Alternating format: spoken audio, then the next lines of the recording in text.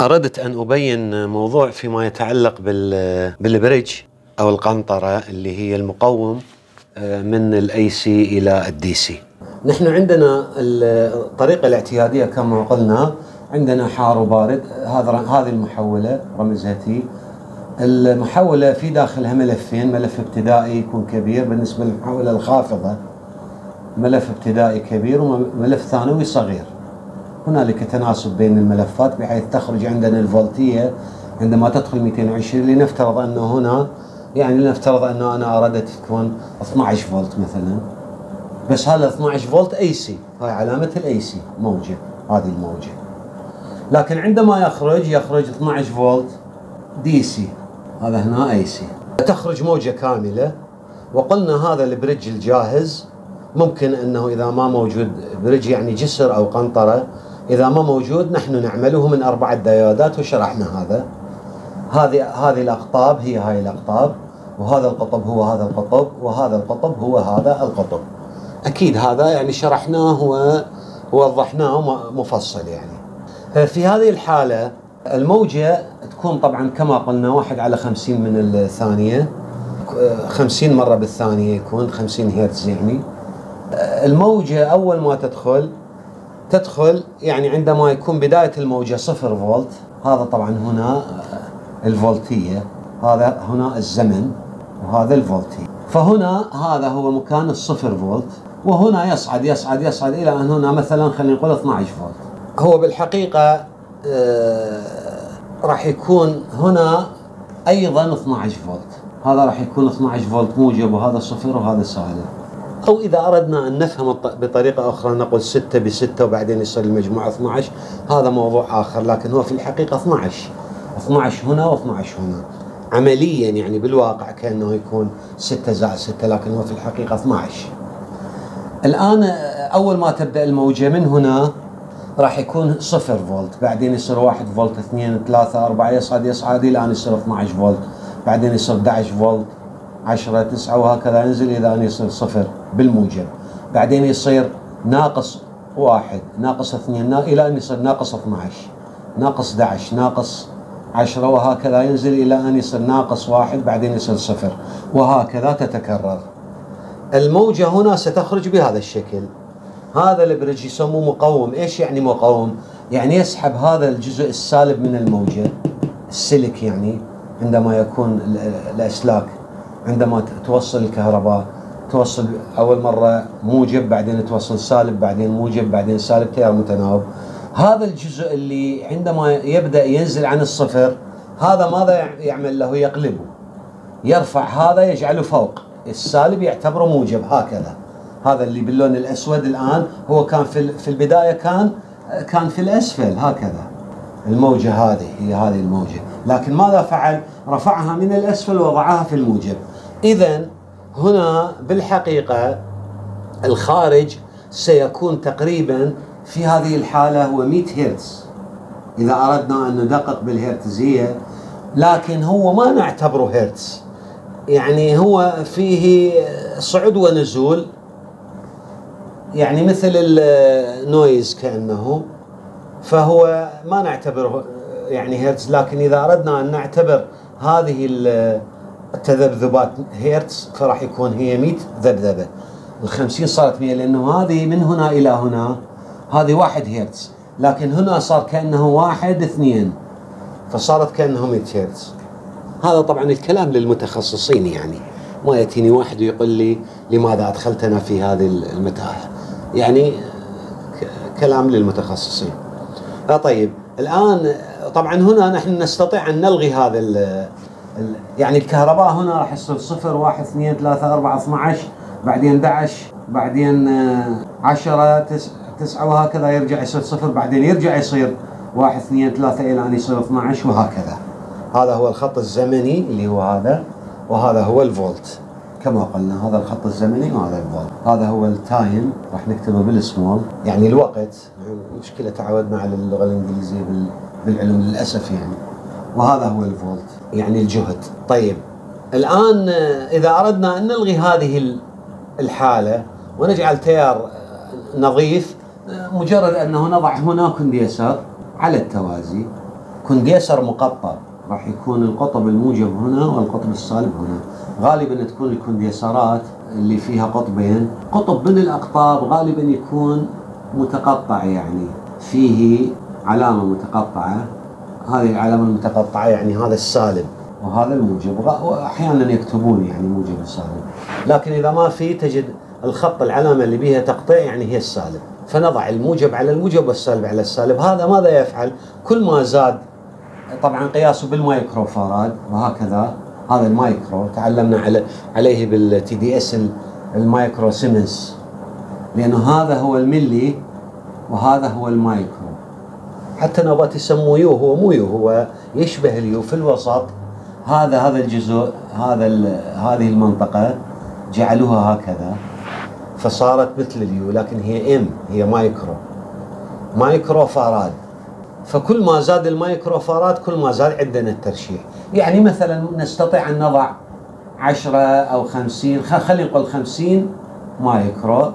بشرط أن يتحمل الفولتية أكثر من 12 يعني.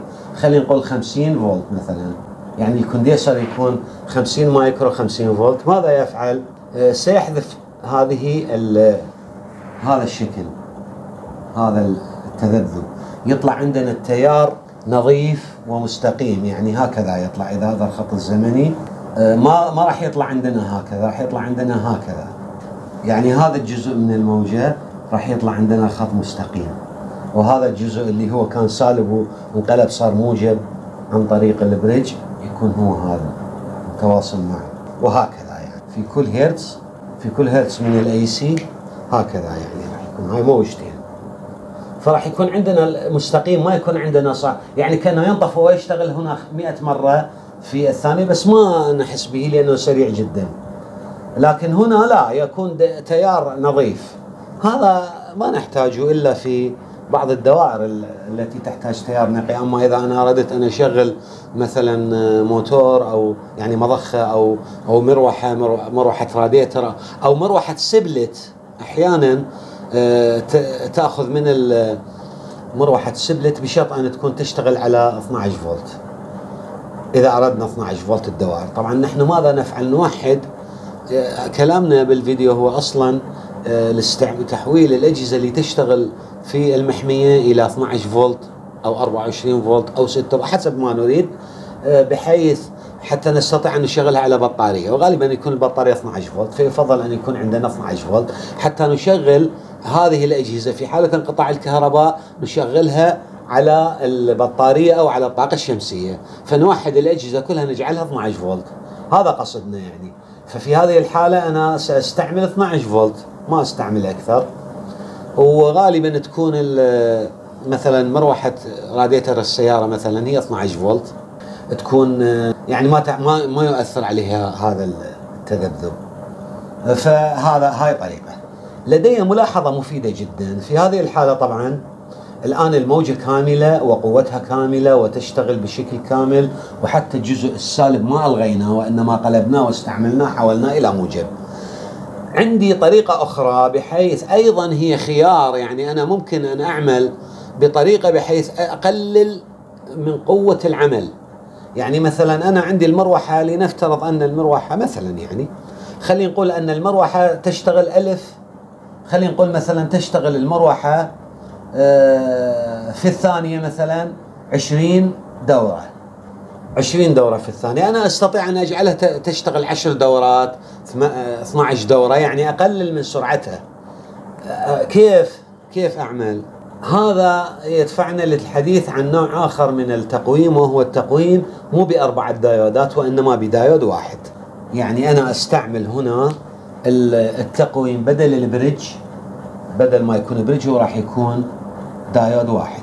واضح إن شاء الله؟ هذا هو السالب وهذا هو الموجب.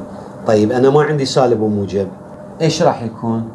راح يكون هذا القطب هو ال AC أحد الأسلاك لنفترض أنه هذا هو السلك A وهذا هو السلك B.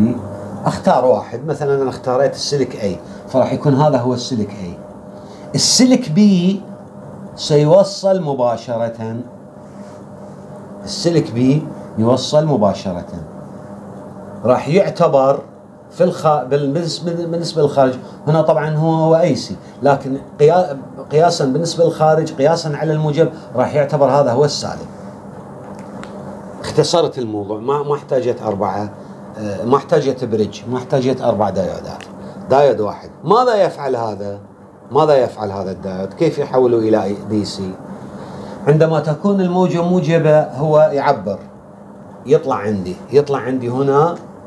يطلع عندي يعني يطلع عندي هذا الجزء يطلع عندي. خلينا شوي نكبر. فهذا الجزء راح يطلع عندي. عندما يصير سالب هذا راح يصير open ما يوصل لأنه قلنا الدايود يوصل باتجاه ولا يوصل بالاتجاه الثاني يعني هذا الدايود. هكذا يوضع. فعندما عندما تكون الموجة موجبة يعبرها. لكن عندما تكون الموجة سالبة يمنعها ما يخليها تدخل. إيش راح يصير؟ راح يصير عندي فراغ. يعني هذا الجزء الجزء الأسود ما راح يكون موجود. بعدين عندما تشتغل الدورة الثانية راح يطلع لي موجب وأيضا يلغي السالب. فهذا السالب ملغي. معنى ذلك أنه أنا عندي هنا هذه الدورة الزمنية الواحدة هنا أنا طلع عندي اثنين نصفين موجة. هنا طلع عندي نصف فقط. النصف الثاني قام بإلغائه. النصف الثاني. هذا النصف الثاني ما ما عبر. يعني صار في حالة انطفاء. فإذا هنا عندما وتتكرر دورة ثانية أيضا يقطع الثاني. وهكذا. إذا ماذا يفعل هنا؟ راح يطلع لي نصف نصف الفترة مشتغل ونصف الفترة مطفى فكأن الطاقة هنا طلعت عندي نصف. نصف الطاقة الخارجة وليست كامل الطاقة الخارجة فهذه مثلا بدل ما تكون 20 دورة راح تصير 10 دورات يعني أو مقارب لهذا. تسعة يعني مثلا 11 12 يعني مقارب للنصف تقريبا لأنه اشتغلت وانطفأت اشتغلت وانطفأت. في كل ثانية تشتغل وتنطفئ. يعني نصف الزمن الكلي منطفئ والنصف الآخر يعني واحد من مية. من الثانية مشتغل وواحد بالمية من الثانية منطفئ وهكذا. في كل مرة خمسين مرة في كل ثانية خمسين مرة تنطفئ وتشتغل في هذه الحالة. إذا هاي طريقة من الطرق. يعني أنا أستطيع أن أعمل أضع مثلا bridge وأضع دايود وأضع switch. فأنا إذا أردت أن تشتغل سريعة أشغلها على ال bridge. وإذا أردتها أن تشتغل بطيئة أشغلها على دايود واحد. وسنعمل ربط لهذه الطريقة لهذه المسألة. طيب. أيضا أستطيع أن أضع condenser إذا أردت أنه يعني هذا الفراغ مثلا الآن هو اشتغل وانطفأ واشتغل فأنا أريد أن نقلل هذه فترة الانطفاء. ماذا أفعل؟ أضع condenser ولكن ال condenser راح يكون هنا أعلى أضعه أعلى. لأنه صار عندي انقطاع كبير. مثلا إذا هنا أنا وضعت 50 مايكرو أضع هنا مثلا 100 مايكرو 200 مايكرو حتى يستطيع أن يلحق أن يحذف هذا الفراغ. يأخذ من هذا جزء من هذه الموجة ويضعه هنا. فراح يوازن شوي. يعني يأخذ من الموجة الموجودة إلى يسد بها الفراغ. فشوي راح يصير عندي التيار منظم يعني. أحتاج condenser أعلى في هذه الحالة. اذا هذا هذا خيار من الخيارات دايود واحد. وإذا وضعت إذا وضعت دايود آخر بالطريق على التوالي هذا سيقلل عندي شوي من الفولتية لأنه هذا إذا كان جرمانيوم أو سيليكون لأنه أنا عندي السيليكون 2 بالعشرة والجرمانيوم السيليكون أذكر 2 بالعشرة والجرمانيوم الجرمانيوم حسب ما أذكر 7 بالعشرة من الفولت يقلل. يعني كل دايود يقلل إذا كان سيليكون يقلل 2 بالعشرة من الفولت وإذا كان جرمانيوم يقلل 7 بالعشرة من الفولت يعني يقلل يستهلك يعني. فإذا أنا وضعت دايودات على التوالي راح شوي يقلل عندي أيضا الفولتية بس هذا طبعا ما راح يكون تأثيره واضح يعني. على كل حال هو دايود واحد ويعتبر قياسه يعتبر دايود واحد. فنحن نتكلم عن دايود واحد نترك هذا موضوع الدايودات اللي على التوالي للمتخصصين. لكن طبعا هذا الدايد لازم يكون تحمله أيضا آه، أيضا نحسب تحمله كم تياره يعني. مثل ما قلنا إذا أنا أردت 5 أمبير أجعله مثلا 10 أمبير 7 أمبير ما يعني ما أخليه على الحافة حتى ما يسخن جدا. هذا إن شاء الله واضح. أه سأوضح أمور أخرى أيضا. أه فقط يعني مثل ما قلنا الآن أنا عندي دايود وعندي bridge. هذا ال bridge أو هو هذا أيضا صممناه نحن. هذا هو الموجب اللي هو هذا هو اللي هو هذا. وهذا هو السالب اللي هو راح يعتبر هذا أو يعتبر هذا. لاحظ كيف؟ اذا صار عندي الموجب هذا الموجب هذا هذا. السالب هذا هذا هذا. إذا أردت أن أربط كونديسر أيضا لازم أراعي هذا أو طريقة الربط يعني لازم أعرف أين السالب وأين الموجب. الطريقة طريقة الربط هي هذه ال 220 اللاين الخط يعني هذا الكهرباء الوطنية أو المصدر الكهرباء اللي هو 220 محوله من 220 إلى 12 فقط أختار أي قطب من هذين القطبين أي قطب من هذين القطبين أختاره ايا كان أضع عليه دائر بهذه الطريقة. أو إذا وضعته بالمقلوب أيضا عادي بس أقلب هذه الأقطاب أيضا. نفس الشيء نفس النتيجة بس راح يكون الموجب بالعكس. راح إذا قلبته راح يصير هذا سالب وهذا موجب. المهم بهذه الطريقة أنه الخط يعني خط الدايود هذا خط الدايود. هنا يوجد خط.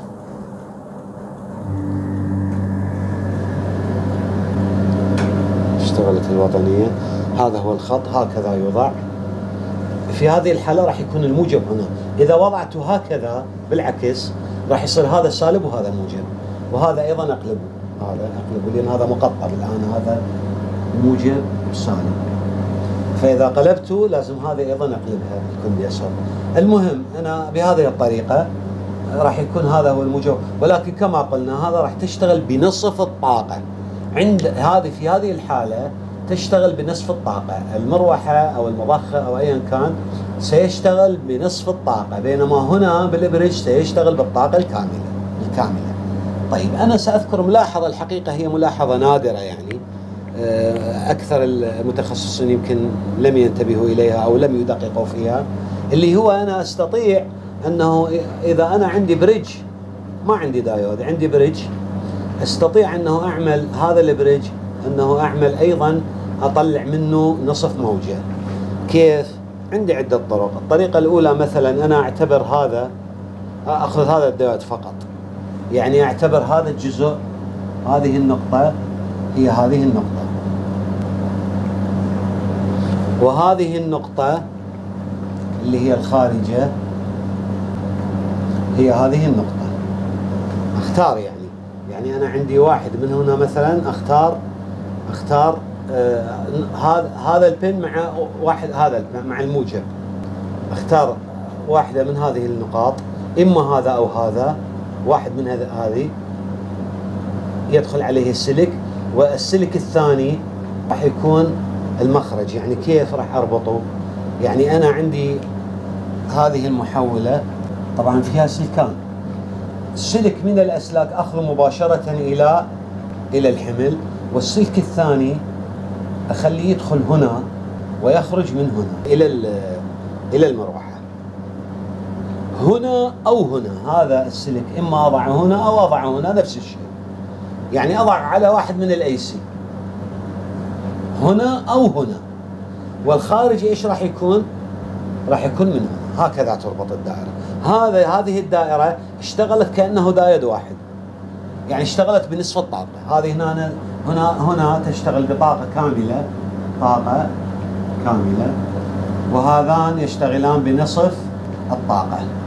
واضح إخواني؟ يعني حتى إذا واحد قال أنا ما أعرف يعني هو الشرح يعني هو يجبرك أن تطبق صح. هذا السلك إما تضعه هنا أو هنا هذا السلك القادم من المحولة. والخارج من هنا يكون من ملتقى الخطين اللي هو إيش؟ اللي هو الموجب. يعني هذا الجزء هو هذا الجزء. هذا هو هذا. يعني راح يكون سلك. يعني هذا السلك مثلا تأخذه مباشرة وهذا السلك تضعه هنا ومن المخارج تأخذ تلغي هذا السالب ما تاخذ من هنا تلغيه تتركه تجعله متروك تأخذ الموجب يعني بهذا الشكل. لاحظوا الآن تركنا هذه هذه النقطة وهذه النقطة صارت متروكة. ما موصل بها شيء. ألغيناها. اشتغلنا على دائد واحد أو طريقة ثانية وأنا أفضلها. طريقة ثانية في هذه الحالة يصير عندي سأستعمل كل الدايودات وراح يصير عندي يتحمل تيار مضاعف. تتحمل القنطرة تيار مضاعف.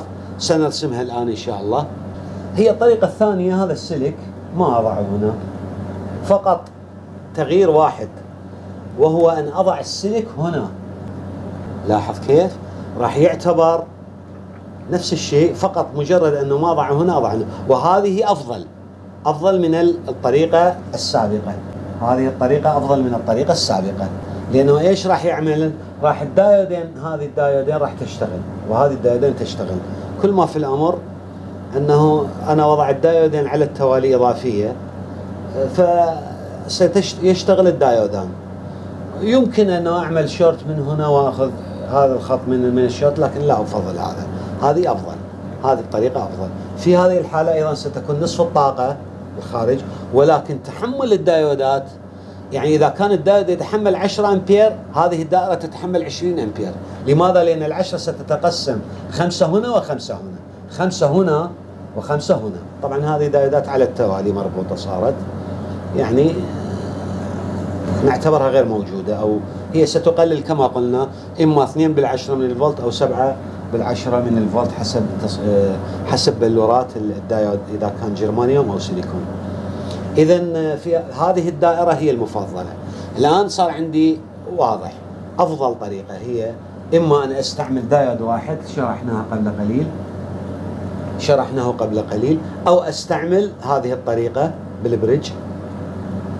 في هذه الحالة صار عندي خيارين. طيب أنا أستطيع أن أعمل فكرة جميلة أنه أنا أشغل المروحة وعندي خياران بدون أن يعني بدون أن أغير الربط بحيث switch هذا ال switch أشغله على طاقة كاملة أو أشغله على نصف الطاقة. كيف؟ آه لكن قبل هذا أردت أن أوضح. في هذه الحالة هذا القطب نحن قلنا هذا القطب اللي هو الموجب. هذا القطب أين يكون هنا؟ يعني بالبريدج كيف أعرف مكانه؟ سيكون هنا. هذا القطب ما معنى ذلك؟ معنى ذلك أنه أنا هذا هذا هذا هذين القطبين سألغيهما ما ما استعملهم هذا القطب وهذا القطب. هذا ما يكون هكذا الربط في هذه الحالة. هذا السلك واحد من الأسلاك طبعا هنا واحد من الأسلاك سآخذ مباشرة إلى الحمل والسلك الآخر سأوصل على القطب السالب هنا. هنا أوصله هكذا. هذا يروح على الحمل يعتبر سالب الحمل والقطب الثاني يعتبر هو الموجب وهذا السلك أوصله على السالب هكذا فقط يعني. اللي هي هذه هذه تمثلها هذه النقطة هذه النقطة النقطة الأولى. هذه النقطة اللي هي النقطة الأولى هي هذه النقطة. وهذه النقطة الثانية هي هذه. واضح إخواني؟ آه طبعا إخواني كانت أنا تصورت الدائرة سهلة لكن كانت شوي فيها تعقيد. أنا سأستح يعني سأستعمل ثلاث سويتشات. لكن هذا ال switch من النوع يسمى switch سلم. ال switch الاعتيادي يكون آه، يعني بهذا الشكل. إما يوصل أو يقطع. من يقطع ما ما يوصل شيء آخر. لكن هذا ال switch لا. هذا يوجد فيه هنا نقطة أخرى يعني يعني يكون فيه ثلاثة أقطاب. يعني ال switch يكون فيه ثلاثة أقطاب. هكذا يكون. قطب هنا وقطب هنا والمدخل. فإذا وضعته في حالة ال off يوصل هذا القطب. يوصل الخط إلى هذا القطب. وإذا وضعته على ال on يفصل هذا القطب ويوصل هنا. هذا النوع من ال switch يسمى switch السلم. مفتاح السلم. إذا نحن سنستعمل هذا النوع من السويتشات. وليس ال switch اللي فيه نقطتين فقط نقطتان فقط. وإنما فيه ثلاث نقاط. ال 220 المحولة من 220 إلى 12 أنا عندي سويتشات. ملاحظة مهمة. الآن قبل أن أوصل يعني قبل أن أوصل بالمحولة يمكن يمكن أن أضع هنا في أحد الأطراف خلينا نقول في هذا الطرف سويتش عادي من النوع الأول اللي هو فيه نقطتان فقط. فأنا قبل أن أحدد الوضعية أنا فصلت المحولة. مطفي يعني في حالة open أجعله في حالة open ثم أحدد. هذه السويتشات كلها إلى الأعلى. كلها أضع ال switch إلى الأعلى وأشغل. عند ذلك ماذا يحصل؟ عند ذلك ستعمل هذه الدائرة بطريقة الكاملة. يعني ال switch عندما يكون إلى الأعلى يكون الطاقة الكاملة. يعني مثل هذه. عندما أريد أن أغير الربط أغلق الدائرة من هنا وأنزل السويتشات إلى الأسفل كلها تكون إلى الأسفل يعني راح يكون ال switch بهذا الاتجاه وليس في الأعلى. هكذا راح يكون ال switch وليس في الأعلى يعني. وبعدين أشغل. عندما أشغل في هذه الحالة ماذا سيحصل؟ في هذه الحالة ستعمل الدائرة على نصف إلى الأسفل نصف الطاقة. يعني على طريقة الدايود الواحد. واضح إخواني؟ راح تكون على طريقة الدايود الواحد. اللي هو الكهرباء ستأتي إلى الحمل نصف الطاقة. واضح إن شاء الله؟ انتبه يعني دائما قبل أن أحدد الوضعية أنا أكون في حالة أنه قاطع المحولة فاصلها عن الكهرباء وأحدد إما إما السويشات الثلاثة إلى الأعلى أو السويشات الثلاثة إلى الأسفل، إذا وضعتها إلى الأعلى راح يصير بريدج كامل وتشتغل هذه على الطاقة القصوى. إذا أنا أردت أن أقلل السرعة، أقلل القوة، أغلق الدائرة من هنا يعني أقصد أفتح الدائرة من هنا يعني أفصلها إلى الأعلى السويتش، ثم أنزل السويتشات الثلاثة إلى الأسفل وبعدين أشغل. ستشتغل على نصف الطاقة. هذه الطريقة طبعا طريقة مبتكرة وما أعتقد موجودة يعني فكرت بها قبل قليل يعني.